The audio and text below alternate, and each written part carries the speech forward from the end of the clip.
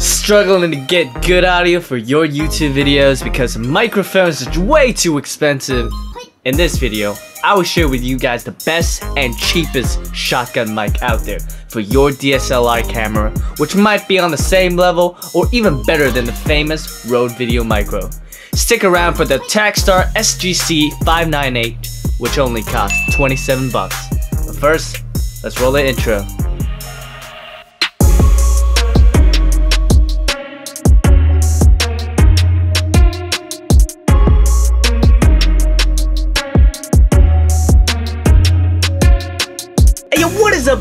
Your boy Clevis Tam, aka the eShop Guinea Pig, and today we're gonna be reviewing the Takstar SGC 598 from Guangdong in China, which only costs $27. And we'll be comparing it to the Rode Video Micro, which costs $60, and compare these two and see who wins the competition. Currently, I'm filming this intro with the Takstar, so you guys can have a sneak peek of what this bad boy can actually produce. If you haven't subscribed this channel, please hit that subscribe button and check that bell for me.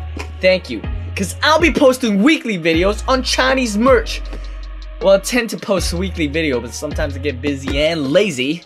And hope you guys get high. No, the highest quality, but also the cheapest product online to step up your content creation skills. But back to the main thing. The Takstar SGC 598 from Guangdong. Is it worth or just hype? Let's dive straight into what's inside the box. We got the cloth bag, a single page A4 size tutorial manual, some extra shock mounts, and of course, the body and the windshield itself. The SGC 598 is powered by only one AA battery, which luckily is also included in the package, so you can use it straight out from the box. Let's start with what the body could offer. It has three switches. First, of course, the on and off switch, which powers the unit and activates the back LED to green. However, if the battery is low, it will turn itself to a red, so you know it's time to charge that battery. The second switch is the plus 10 dB gain switch, which manually bumps up the sensitivity of the mic. This could amplify the volume to a certain extent. Lastly, we have the low cut switch, which could reduce some ambient sound. I tend to leave this one on, although there isn't a huge difference in my opinion if you're recording indoor. The body itself is made out of plastic, but it is very sturdy and rigid in my opinion. The inside of the microphone tube is made out of metal. It can eliminate some of the ambient noise coming from the sides with the interference tube design. It features a coiled 3.5mm jack and a cold shoe mount which is made out of metal. The knob that tightens the shoe is made with plastic, which keeps it simple to tighten it to your DSLR. But let's drop the boring stuff and shoot right into assembling this bad boy.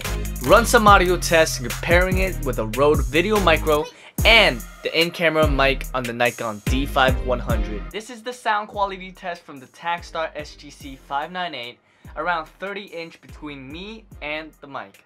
This is a sound quality test of the Rode Video Micro, around 30 inch between me and the mic. This is a sound quality test for the Takstar SGC 598, around 60 inch from me and the mic. This is the sound quality of the Rode Video Micro, around 60 inch between me and the mic. This is the sound quality of the Rode Video Micro, around 60 inch between me and the mic. This is a sound quality test for the Takstar SGC 598, around 90 inch from me and the mic.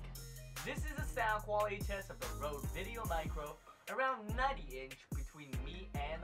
This is the sound quality of the Takstar SGC 598 when it's right here under my mouth. This is a sound quality test of the Rode Video Micro when the mic is right under my mouth.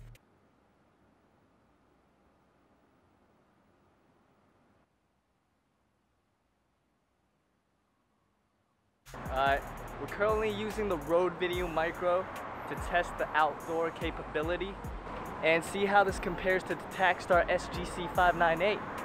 And uh, we're in a crowded street, there's like uh, cars over here, so yeah.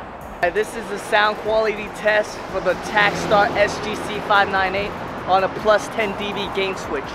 I'm currently on an outdoor environment with a lot of cars around me I'm currently filming on the Takstar SGC 598, but on a 0 dB gain switch. Currently in an outdoor environment and a vlogging distance, and there's like cars around, so hopefully you could pick up some of that ambient noise, and hopefully you guys can compare it with the Rode Video Micro, no problem. Alright, currently I'm using the in-camera mic without the Takstar nor the Rode and hopefully you guys can have a comparison between the in-camera mic between the Takstar and the Rode. So uh, once again, this is the in-camera mic from the Nikon D5100. Hope you guys have a chance to hear both of the mic perform in certain conditions. However, the Takstar mics excels as a shotgun mic.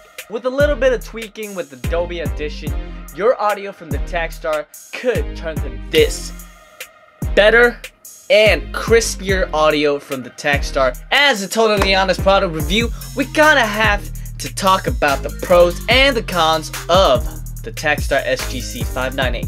As a $27 mic, the sound quality doesn't disappoint. It is perfect for hobbyists who wants to save up but also to be able to achieve better sound quality. Although it is from some Chinese manufacturer, the build definitely doesn't feel cheap at all. It is very sturdy and the weight is perfect, weighing around 6.6 ounce only. The downside is that the size is considerably larger than the Rode Video Micro. It will make your camera look a bit bulkier due to the long mic tube. I also don't like how they have to make the user switch on the device in order to use it. It is definitely a better design if they could put the LED light in front or just use the camera to power itself. There were definitely times where I forgot to turn on the mic and I gotta have to do a reshoot. Lastly, the shock mount feels a little bit too rigid in my opinion, which isn't ideal to use it when there's a lot of camera movement. Bottom line, the Takstar SGC 598 is a well-rounded shotgun mic in a well-affordable price range. With a little bit of tweaking, you can get even richer sound from the same body.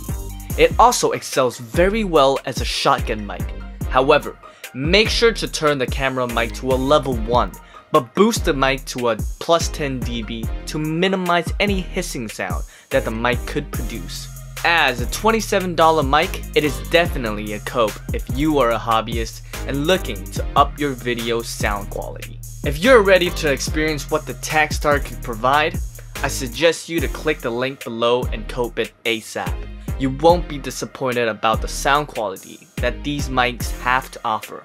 Please, if you enjoy this video, give me a thumbs up, comment below on which mic you will be choosing, and hope you will find this video helpful. Lastly, follow the Chinese Merch Police Instagram for more upcoming giveaways. To all you Chinese merch copers, shop safe online and don't get scammed. Peace out and see you guys next time.